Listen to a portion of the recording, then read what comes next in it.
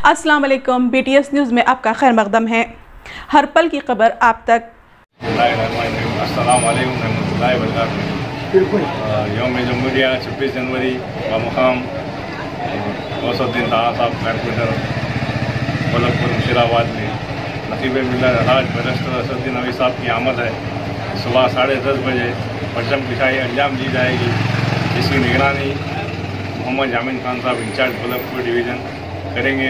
आप तमाम मुहिबान मजलिस से शिरकत की गुजारिश की जाती है। असल इसी के साथ ये खबरनामा अख्ताम पर पहुँचता है। दुआ और उम्मीद यही कि आप जहाँ कहीं भी हों, खैर आफियत से हों, आपकी हर सू खुशगवार हो और हर खुशगवार सू का अंजाम बखैर हो।